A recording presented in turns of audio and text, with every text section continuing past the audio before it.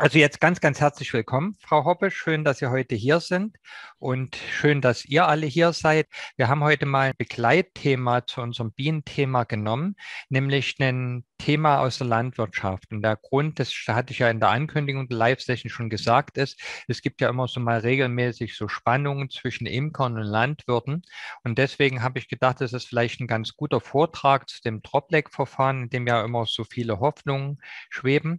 Und da hatte ich mal einen Vortrag von der Frau Hoppe zu dem Thema gehört und hatte gedacht, das ist ein ganz tolles Thema für unsere Live-Session. Und deswegen freue ich mich auch, dass wir heute dieses Dropleg-Verfahren einen Beitrag zur Risikominimierung Minimierung von der Frau Hoppe haben.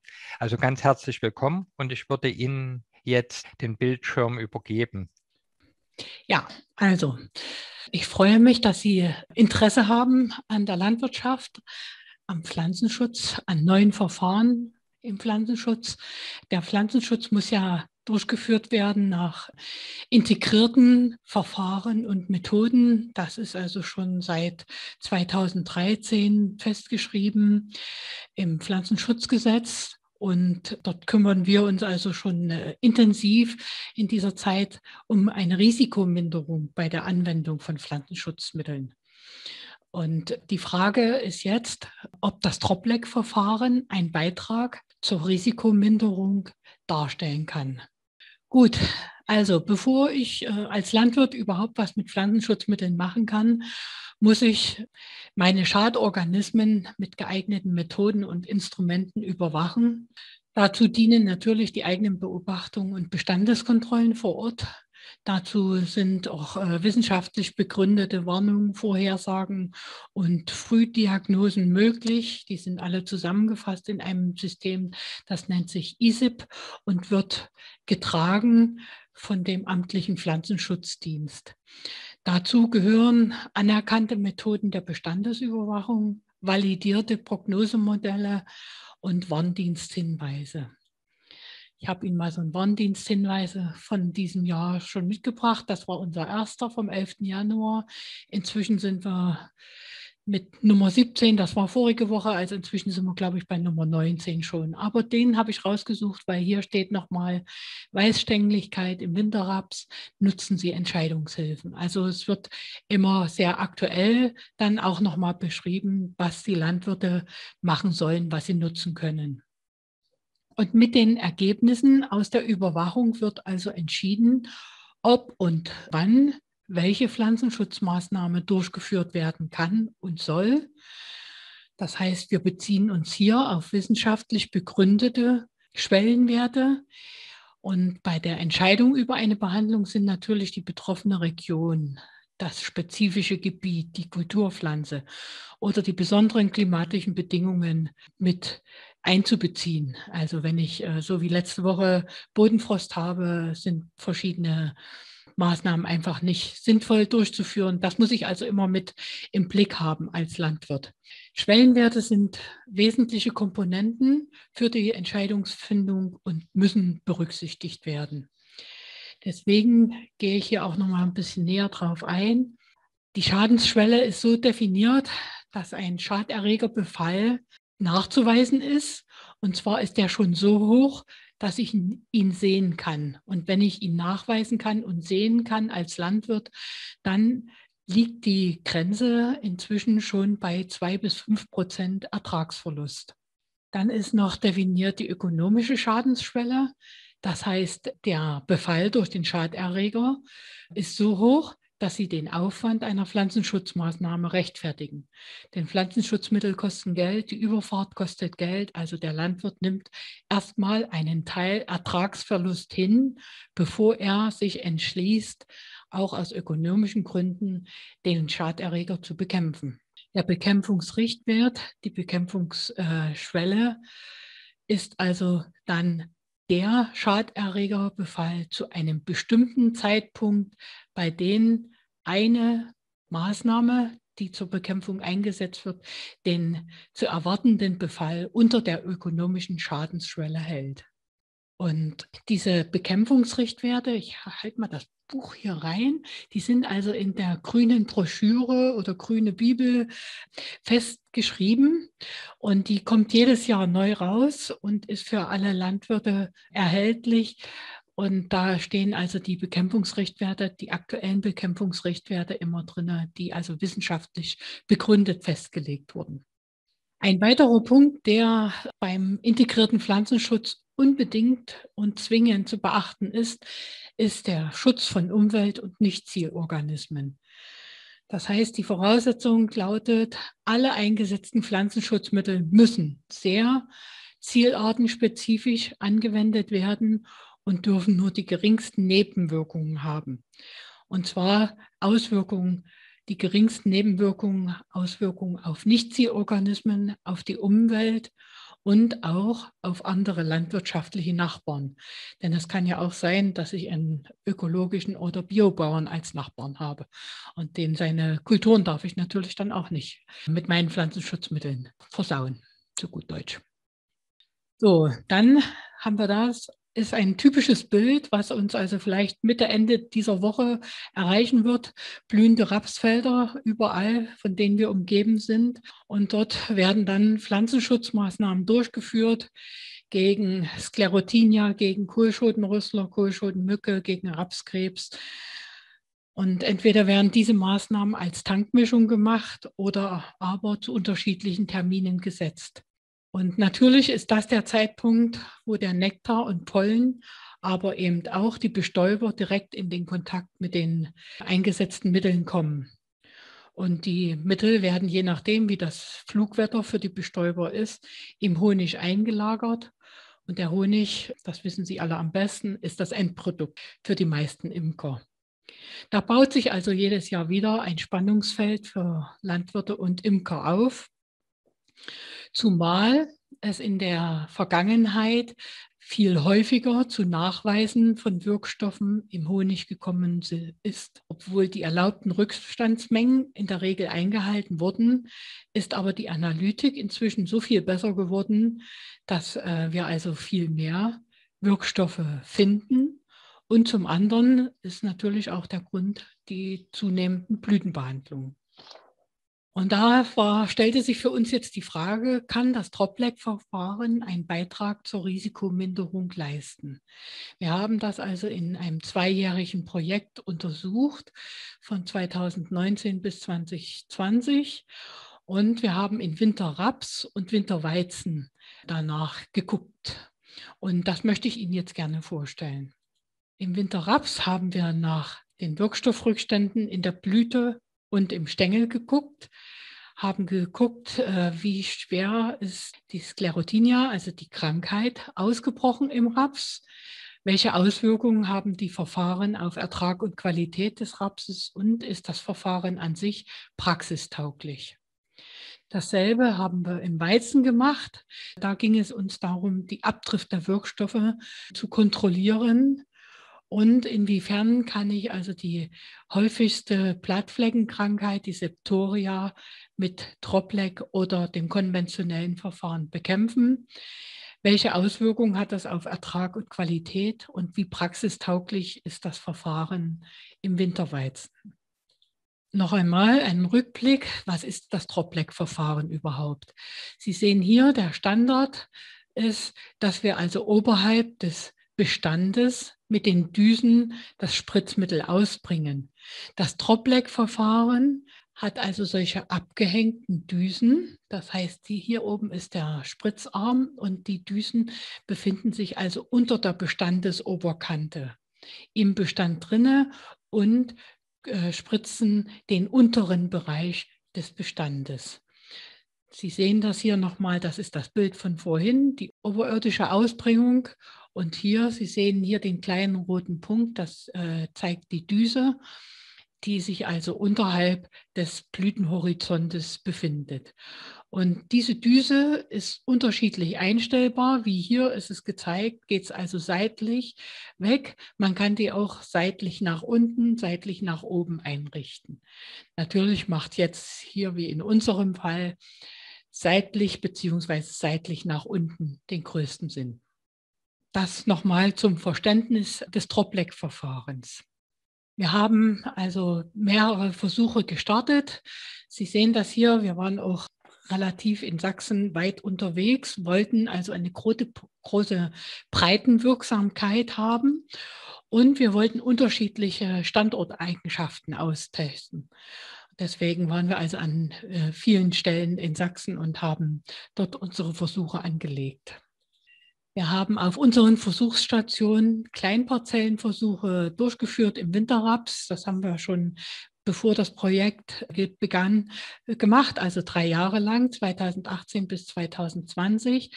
Und dieser Versuch war eingebettet in einen anderen Strategieversuch. Und wir haben hier das Troplec-Verfahren getestet im Vergleich zu den konventionellen Herbstblütenbehandlungen mit Fungiziden.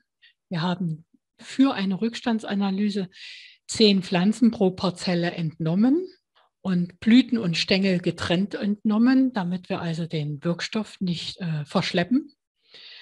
Und wir haben auch nach 24 Stunden die Proben entnommen, gleich also nach der Fungizidanwendung, damit der Abbau des Wirkstoffs noch nicht weit fortgeschritten ist. Dann haben wir die Krankheit bonitiert mit 25 Pflanzen je Parzelle und auch im Labor bestimmen lassen und Ertrag und Qualität über das bekannte Kerntruschverfahren, welches äh, im Versuchswesen durchgeführt wird, gemacht. Das ist mal eine Draufsicht auf die vier Blöcke auf einer von unseren Versuchsstationen. Das sind die einzelnen Parzellen, die sich hier finden. Und wir haben eine größere Parzellenbreite die, die man hier nicht erkennen kann, weil sie also ganz normal ist. Aber wir haben immer zwei Parzellen nebeneinander gelegt, damit mit den Troplec die Technik sauber eingesetzt werden kann und ausgehoben werden kann. Dann haben wir in drei Praxisbetrieben Winterraps Großparzellenversuche angelegt. Wir haben je nach der Arbeitsbreite der vorhandenen Feldspritzen und dem Gelände die Parzellengrößen gewählt, unter anderem Länge bis 200, 300 Meter. Da sieht man natürlich ganz anders, ob das äh, ein Verfahren ist, was für die Praxis möglich ist und haben dort auch die konventionelle Behandlung gegen die Troplec-Technik geprüft. Auch hier wieder für die Rückstandsanalyse haben wir 20 Pflanzen pro Parzelle entnommen haben auch hier die Krankheit bonitiert, über 40 Pflanzen pro Parzelle und haben auch hier Ertrag und Qualität über das Kerntruschverfahren bzw. die Gesamtparzelle ermittelt. So sieht das aus, der, die Anlage des Großparzellenversuchs in dem Praxisbetrieb. Sie sehen hier die einzelnen Varianten hintereinander und so stellt sich das dann auf dem gesamten Schlag dar. Und das sind hier die 200 Meter gewesen. Das heißt also, der Schlag ist schon ein langer Schlag mit 800 Metern Länge insgesamt. Was machen wir eigentlich in dieser Blütenbehandlung? Ne, wir behandeln also mit einem Fungizid gegen die Pilze. Und zwar sind das solche kleinen Apothezien, die im zeitlichen Frühjahr wachsen und den Raps befallen. Und das breitet sich also so weit aus, dass im Wachstum des Rapses die Stängel vermorschen. Deswegen sehen die also auch so weiß aus. Und bevor der Raps zur vollständigen Abreife kommt und wir den ernten können, bricht der Bestand zusammen, dass die Landwirte Ertragsverluste haben, weil sie den Raps nicht mehr dreschen können, nicht mehr ernten können. Deswegen ist also die Blütenbehandlung im Winterraps für die Landwirtschaft von Bedeutung. Dann haben wir in unserem Lehr- und Versuchsgut in Nordsachsen in College einen Flächenversuch gemacht. Das haben wir, heißt, wir haben zwei Felder miteinander verglichen. Auf dem einen Feld haben wir eine konventionelle Behandlung gemacht, auf dem zweiten Feld die Troplec-Technik insgesamt eingesetzt und haben dann in einer Rückstandsanalyse Honig- und Pollenproben entnommen. Und der Fokus äh, lag darauf, dass also wir die Honig- und Pollenproben zeitnah bekommen haben. Und dafür haben wir je zwei Bienenvölker mit einem Abstand von 200 Metern am Rand zu den Schlägen aufgestellt. Und wir haben das so angeordnet, dass die Versuchsflächen einen maximalen Abstand von den Außengrenzen des Lehr- und Versuchsguts hatten, damit sie also möglichst unbeeinflusst von dem Nachbarbetrieben geblieben sind. Und aus diesem Grund haben wir auch die Droplet-Technik äh, zuerst angewendet und haben dann am Tag der Applikation die Pollenfallen für 24 Stunden aktiviert haben dann die Pollenproben entnommen und haben nach fünf Tagen Honigproben entnommen. Und dann, nachdem wir das äh, nach den fünf Tagen gemacht haben, haben wir erst das zweite Feld mit der konventionellen Technik behandelt. Und auch dort haben wir am Tag der Applikation die Pollenfallen für 24 Stunden aktiviert und auch dort nach fünf Tagen Honigproben entnommen. Bei den Pollenproben haben wir vor allen Dingen auch äh, wissen wollen, wie die Zusammensetzung ist, also ob das auch funktioniert hat. Und die Bestätigung ist auch gekommen, dass über 80 Prozent in den Pollen, Rapspollen enthalten waren. Also die Bienen sind nur wenig fremdgegangen. Der meiste Teil ist also aus dem Raps gewesen.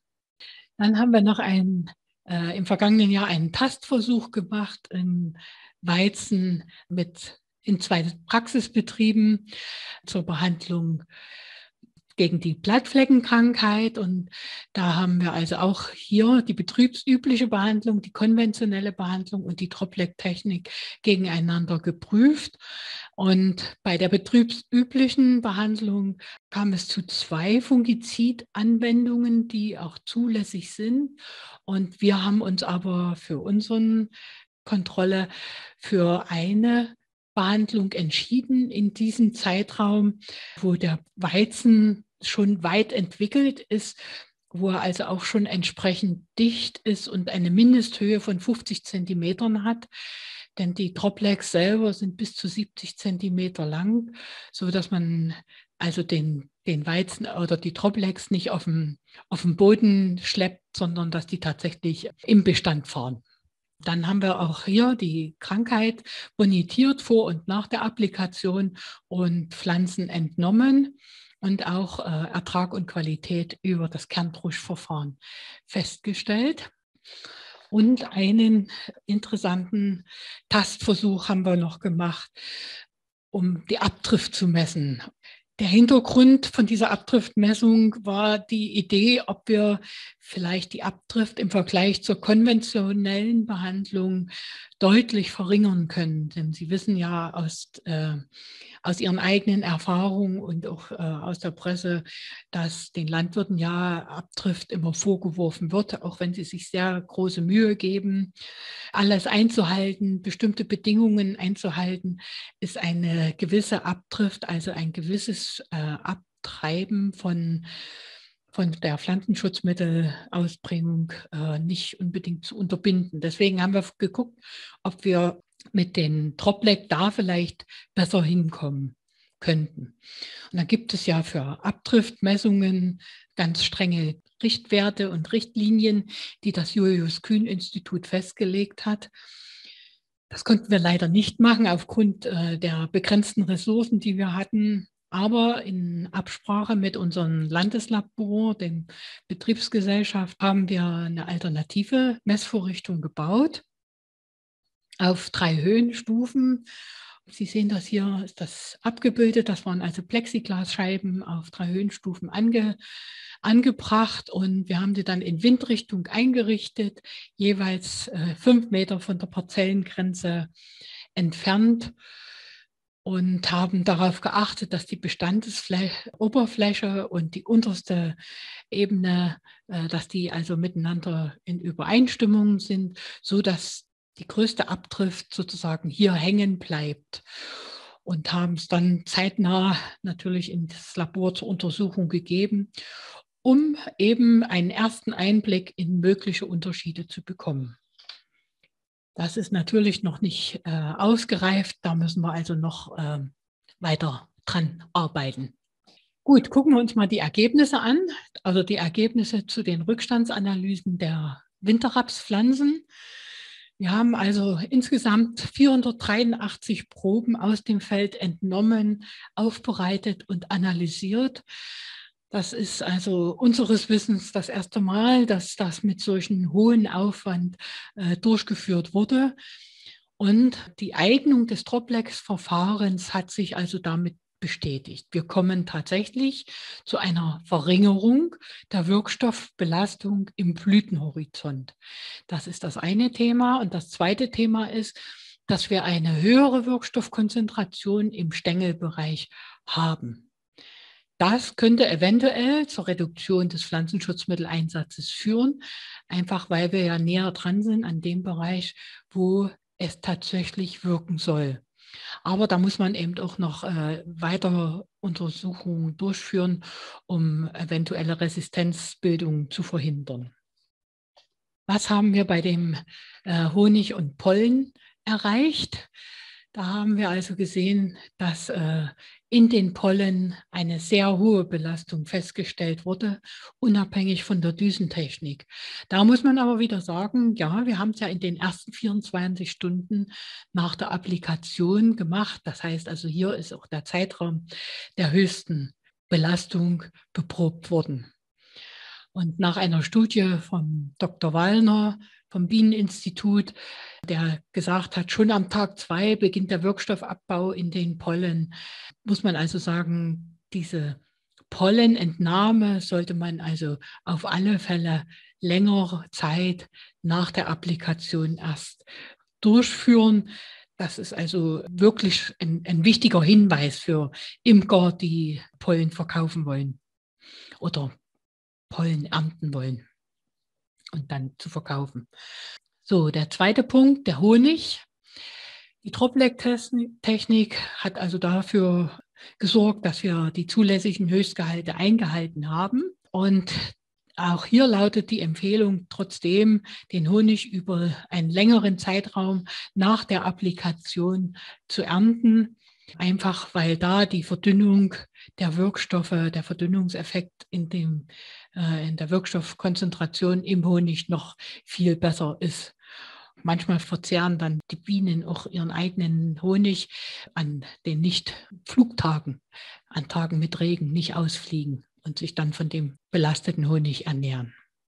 So, welche Auswirkung hat es auf Ertrag und Qualität im Winterraps? Es hatte überhaupt keinen signifikanten Effekt auf den Ertrag. Und es hatte auch keinen signifikanten Effekt auf die Qualitätsparameter Rohfettgehalt und 1000 Kornmasse beim Winterraps.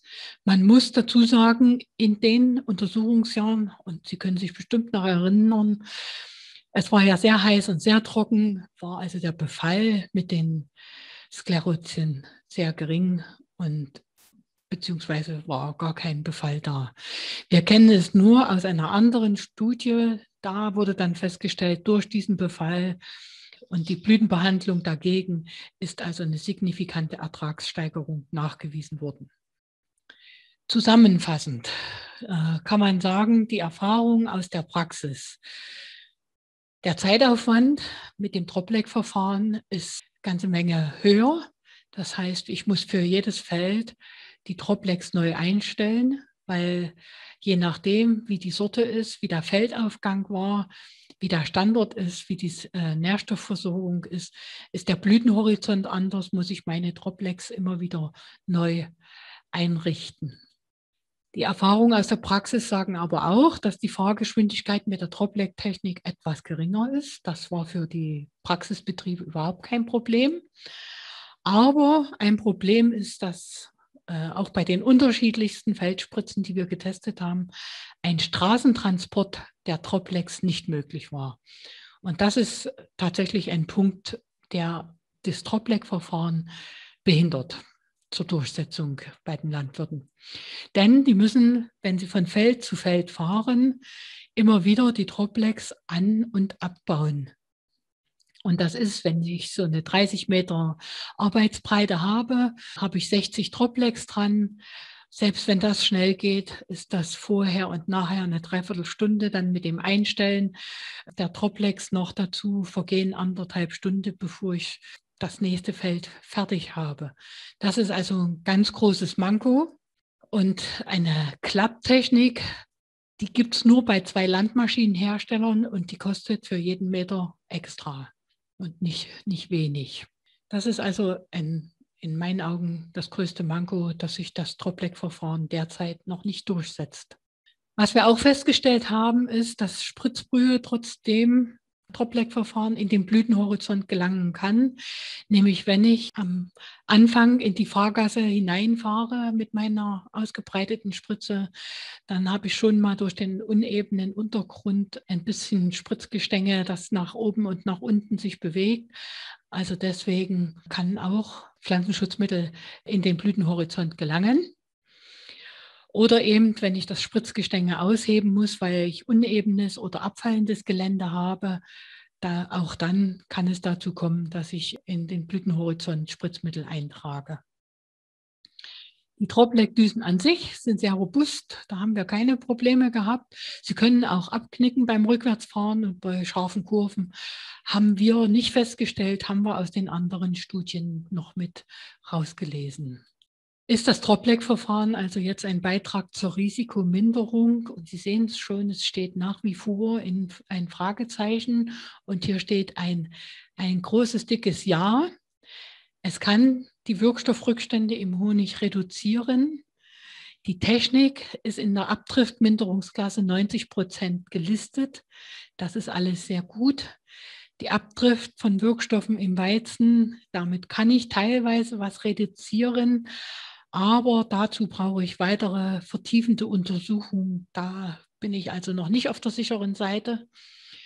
Und der Krankheitsbefall ist also vergleichbar mit der konventionellen Behandlung. So, und jetzt kommt das große Aber. Ich habe hohe Investitionskosten. Die Troplex alleine kosten 200 Euro je, Quadrat, äh, je Arbeits Meter Arbeitsbreite und zusätzlich 150 Euro je Meter der Klappmechanismus. Das sind 350 für 30 äh, Meter Arbeitsbreite, sind schon mal gleich 11.000 Euro. Und nur für den Raps. Im Pflanzenbau habe ich momentan wenig Erfahrung mit anderen Feldfrüchten. Es gibt Erfahrung auch zum Mais, aber da ist die Notwendigkeit für so einen Einsatz im Troplec nicht unbedingt gegeben. Und wir haben das andere aber, die hohen Wirkstoffrückstände in den Pollen bei zeitnaher Entnahme nach der Applikation. So, die Erfahrungen aus der Praxis stellten sich für uns also so dar, dass äh, viele der Landwirte die Imker vor der Blütenbehandlung informiert haben und die haben am Tag der Applikation ihre Beuten zugemacht und danach wieder aufgemacht und da war es gut. Und wir haben auch Imker getroffen, die die Blütenbehandlung gar nicht als das Problem ansehen. Also die also trotz der Applikation die Beuten aufstellen und die stehen lassen. Es sind also gibt unterschiedliche Imker. Und damit bin ich schon am Schluss, am Fazit, die Troplec-Technik ist vergleichsweise teuer. Man sollte also auf alle Fälle weitere Anwendungsmöglichkeiten testen, andere Kulturen testen.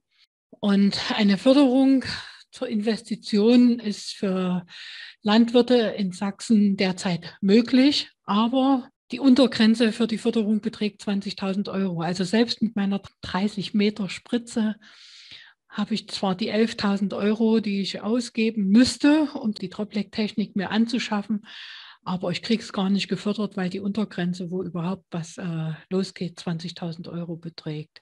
Das ist natürlich ein großes Manko auch. Das haben wir auch kommuniziert ins äh, Ministerium. Mal sehen, was daraus wird. Und ein weiteres Manko ist, dass Dienstleister, die ja einen großen Kreis abdecken an Blütenbehandlungen abdecken, dass die nicht antragsberechtigt sind. Das heißt, bei denen, die haben also keine Fläche und bei uns äh, ist die Förderung der Investitionen an die Fläche gebunden.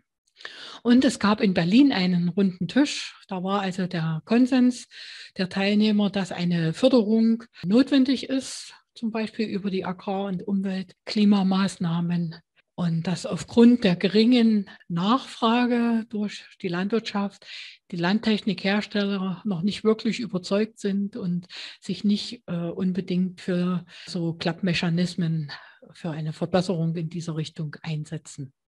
Ich habe Ihnen hier auch die Kontaktdaten hinterlegt. Mein Kollege, der damals das Projekt gemacht hat, Andreas Dietrich, und von mir, falls Sie da Nachfragen haben. Und äh, hoffe, dass ich Ihnen ein paar Einblicke zum PropLec-Verfahren geben konnte. Auch die Bedenken, die die Landwirtschaft nach wie vor mit dem Troplec-Verfahren haben. Also das Anbringen der Troplec an sich und die Masse, das Gewicht der Troplecs, das spielt gar keine Rolle. Das waren die größten Bedenken der Landwirtschaft. Das konnten wir auf alle Fälle ausräumen. Und ja, mit diesem äh, schönen Bild würde ich mich gerne von, von Ihnen verabschieden und bin für Fragen offen.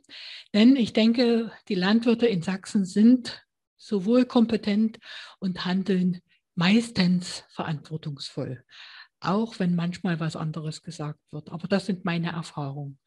In diesem Sinne, danke für Ihre Aufmerksamkeit. Ganz vielen Dank. Wir lassen das Bild am besten stehen, das geteilte, auch während dem Fragenbereich. Gibt es direkt aus der Runde Fragen? Das erste ist, was ist denn die Vermutung, warum das im Pollen trotzdem noch so hohe Belastung gibt, obwohl eigentlich das unterhalb der Blütenfläche gesprüht wird? Wird das äh, durch die Aufnahme der Pflanze und dann Pollen transportiert oder driftet dann doch so viel in die Blüte ab? Was sind die, die Erklärungen dafür? Ja, das ist äh, ziemlich schwierig, weil wir ja in den ersten 24 Stunden nicht dort mit drinne waren. Aber wir denken tatsächlich, dass vielleicht die Pflanzenschutzmittelwolke sich ja dann doch noch ein bisschen auch durch den Blütenhorizont gezogen hat. Und dass zum, zum Zweiten die Bienen vielleicht auch in den äh, niederen Etagen was mit an den Füßen hatten und das dann in den Pollen mit eingetragen haben. Meine zweite Frage war ja, Sie haben ja gesagt, es ist im Honig deutlich weniger mhm. die Belastung gewesen. Wie, wie viel ist das ungefähr weniger zum konventionellen Verfahren im Vergleich? Also das ist schon sehr deutlich weniger gewesen. Also ähm, selbst beim konventionellen Verfahren, das hatte ich ja am Anfang gesagt, mhm. äh, bleiben wir in der, äh, unter den Rückstandshöchstmengen und das bleiben wir, hier bleiben wir sehr deutlich und haben nur noch Spuren drin. Das kommt auch wieder darauf an, was ich für Wirkstoff einsetze. Also da verhalten sich die Wirkstoffe auch ein bisschen unterschiedlich in ihrem Abbau direkt nach der Anwendung. Aber Gut. wir haben also eine, tatsächlich eine deutliche Reduzierung. Gut, die letzte Frage, die ich in dem Zusammenpunkt mit habe, ist, in welchen Größenordnung bauten sich dieser Schadstoff in den im Pollen ab? Und gibt es da Aussagen für die Bienen und die, für die Bienenbrut selber? Mhm. Also da gibt es äh, unterschiedliche Aussagen. Äh, die eine habe ich schon zitiert von dem Dr. Wallner aus dem Bieneninstitut. Der sagte, tatsächlich am Tag zwei beginnt der Abbau. Und das ist eigentlich das, was wir selber auch festgestellt haben. Deswegen waren wir auch bei der Probenahme schon nach 24 Stunden wieder da, dass wir also äh, den, den Abbau, der geht ziemlich schnell vonstatten. Das sind ja Wirkstoffe, die äh, photolytisch abgebaut werden, also unter Wärme- und Lichteinfluss. Wenn die rauskommen sozusagen, dann beginnt im Prinzip sofort der Abbau. Was das für eine Auswirkung auf äh, die Brut hat, ähm, da bin ich nicht Bienenfachmann genug, kann ich Ihnen nicht sagen. Gut, jetzt kommt eine Frage von JP. Frau Hoppe, Sie sprachen von Verschließen der Völker am Tag nach der Ausbringung der Pflanzenschutzmaßnahme. Was wurde dabei gegen das Verbrausen der Bienen getan? Oft stehen die Völker in der Sonne, was meine Bedenken verstärkt. Ich weiß nicht, ob Sie da Auskunft geben können. Nee, da müssen Sie die Imker fragen. Also das kann ich nicht. Wir wissen nur aus äh, unseren Gesprächen, aus den Versuchen. Da sind äh, manche Imker, die machen zu, halten 24 Stunden zu. 24 Stunden nach der Applikation machen sie wieder auf und haben gar kein Problem gehabt. Aber mit den, nee, da kann ich gar nichts zu sagen zum Verbrausen. Hm.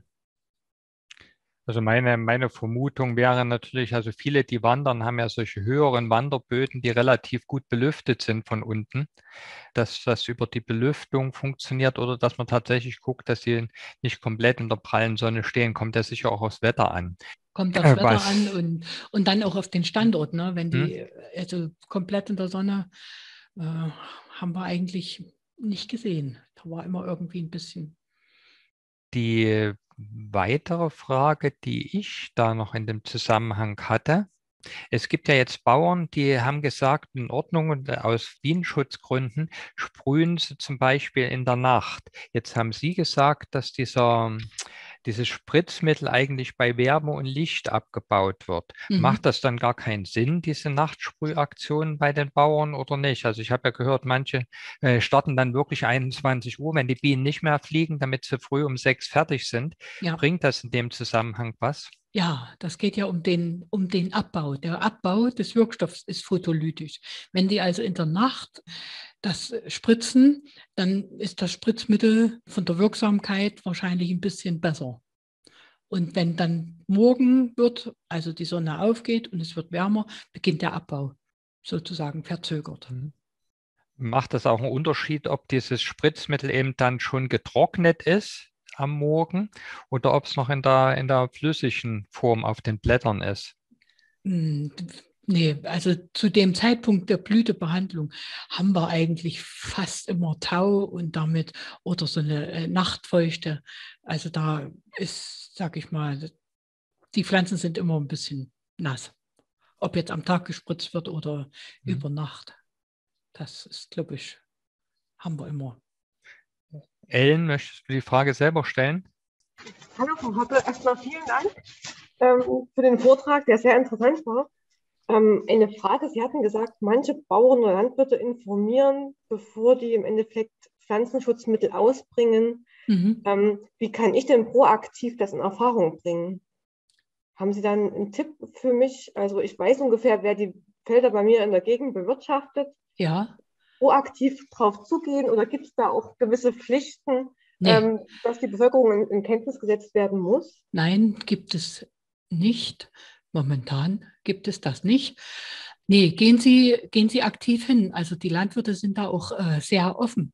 Zumindest die, mit denen wir bisher in Kontakt gekommen sind, und ich war 20 Jahre in der Kontrolle. Ähm, die sind alle sehr offen und ähm, wenn sie hingehen und sagen, ich bin der Imker, meine Bienen fliegen hier im Umkreis und können Sie mich nicht informieren, wenn Sie spritzen? Das geht ja jetzt mit äh, WhatsApp oder solchen Chats äh, mhm. ziemlich schnell. Also da mit denen äh, wir zu tun hatten, die haben da nirgendwo ein Problem gehabt.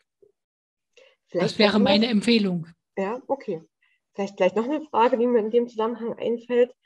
Wie geht es denn jetzt weiter? Also Sie sagten ja, das Verfahren ist trotzdem recht teuer. Ja. Ähm, es gibt Fördermöglichkeiten, ja. Haben Sie schon ein Feedback bekommen von Landwirten, ähm, ob sowas jetzt umgesetzt wird, ob es Interessen gibt, also in dem, in dem Zusammenhang? Also als wir uns äh, um Projektpartner bemüht haben, also um Praxisbetriebe bemüht haben, hatten wir überhaupt kein Problem, welche zu finden. Die Landwirte sind sehr aufgeschlossen gegenüber neuer Technik. Das äh, haben sie auch alles. Wir mussten ja hier, äh, achso, ich habe es jetzt auf dem Bildschirm gezeigt, das hilft Ihnen nicht. Aber die Halterungen sind alle neu angebracht worden. Wir haben also überall neue Löcher bohren müssen. Ne? Da waren die überhaupt nicht zögerlich, sondern haben das auch wirklich äh, gleich gemacht. Wenn es natürlich als Serie angeboten wird, ist das immer besser dann ist es einfacher. Ne? Der Landwirt kauft das äh, und, und kann es einsetzen. Und wie es weitergeht, ist die Frage bei der ne neuen Förderung. Also wenn das gefördert wird, dann wäre das, die Ausbringung gefördert wird, würden sich sicherlich Landwirte auch bereit erklären und äh, das dass diese Technik nachfragen. Und je mehr nachgefragt wird an dieser Technik, umso eher sind Landtechnikhersteller bereit, sich tatsächlich wirklich ernsthaft Gedanken zu machen und einen Klappmechanismus äh, auf diese oder jene Art einzurichten. Also auf diesen runden Tisch, bei diesem runden Tisch, da haben sie eindeutig gesagt, eine, eine Firma Ja, diese eine Million, die hier nachgefragt wird, das spielt für uns gar keine Rolle. Die agieren natürlich global, ne? die agieren nicht für Deutschland. Das ist leider so. Na gut, und auch die Nachfrage wird den Preis dann irgendwann mal bestimmen. Also mehr Nachfrage, damit wird es auch erschwinglicher sicherlich werden und dann auch wiederum weiterhin die Nachfrage steigern. Und wenn ich, wenn ich das will als Politik, äh, dass die Landwirte sowas einsetzen, dann muss ich das erstmal fördern, bis es sozusagen einen Bereich erreicht hat, äh, in Anführungsstrichen, wo es Normalität geworden ist. Mhm. Aber bis dahin müsste ich es fördern, ja. Also unter den Umständen, wie es jetzt ist, machen die Landwirte, ja, sind sie, halten sich sehr zurück. Gut. Okay, Dankeschön. Gut, ganz vielen Dank. Was ich noch mitgekriegt habe, das haben Sie aber mit erwähnt, ja, aus Gesprächen mit zwei Landwirten, die das tatsächlich eingesetzt haben, das Dropback-Verfahren. Das größte Problem ist wohl dieses Anklappen dass das nicht geht auf der Straße, wenn die also von ja. Feld zu Feld fahren müssen. Und dann, äh, es ist ja nicht bloß, dass sich das nicht anklappen lässt, dann sind ja die Düsen alle voller Spritzmittel mhm. und diese Dinger müssen irgendwo transportiert werden. Und man kann ja jetzt nicht das ganze Fahrerhaus fluten, weil mhm. man die Dinger dort reintut und das ganze restliche Spritzmittel rausfließt. Das heißt, man muss sich dann selbst noch Gedanken machen, wie transportiert man die von Feld zu Feld. Und wenn man sich jetzt noch. Äh, man muss also dann einen Hänger nehmen, man kann das also auf keinen hm. Fall im Fahrerhaus mitnehmen. Ich hatte ja gesagt, bei 30 Meter, wie es die Spritze hier auf dem Bild äh, dargestellt ist, sind das 60 Droplets. Das ist erstmal eine, eine Masse auch, ne? eine Größenordnung. Kriege ich also im Fahrerhaus gar nicht unter und dann darf ich es aus Anwenderschutzgründen auch nicht mitnehmen, sondern muss noch einen extra Hänger mitnehmen. Das größere Problem ist aber, zwar ist es eine einfache äh, Bajonettanbringung, aber 60 Mal nach jedem Schlag anbauen und abbauen, das ist eine Zeit. Und dazu kommt eben äh, dieses Einstellen der Troplex für jeden Schlag neu. Das äh, ist schon eine Problematik.